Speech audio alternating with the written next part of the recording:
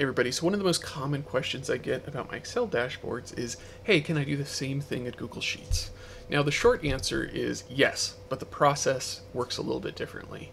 Uh, the long answer, slightly longer, is that Google Sheets has a totally different system for doing visual design and customizations, and you have to kind of plan ahead when you're doing your work in Google Sheets a little bit more than you can than you need to in Excel.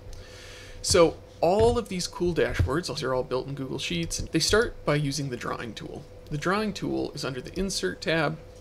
You have the option to insert a drawing. When you do that, you get a nice little interface that pops up, and this interface has the ability to drop in shapes and images and text and all of that. What you need to do when you first start your dashboard is think about your layout and build the foundation using the drawing tool. So if you see here, we've got little sections blocked out. So you're essentially blocking out, hey, what do I want my background to look like? What sections do I want? You do that all in the drawing tool first. And the reason is that Google Sheets doesn't have layer controls the same way that Excel does. So your drawing has to be inserted first, furthest back, because you're not going to be able to move it back and forth or move different sections back and forth later on. It has to be your foundation, your base that you have. Once you have that in, you start dropping in your metrics and charts using a couple things. So your metrics, you can move them around. See, they're not actually in a cell. Your metrics are being dropped in using a scorecard chart, just one of the default chart types. You just point it at the value you want to show.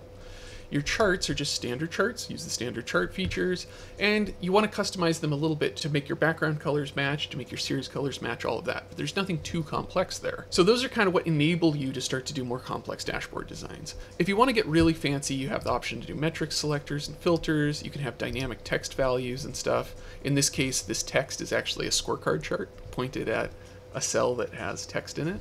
And you can start building pretty complex things using these concepts, but it's just not quite as easy as Excel yet. And most people who are using Google Sheets typically move over to Google Data Studio to start doing their designs. That's a purpose built BI tool, and it allows a little bit more flexibility and works well with structured data. But if you are stuck in Google Sheets, if you have to use Google Sheets, you can take it pretty far. You can build cool stuff like this.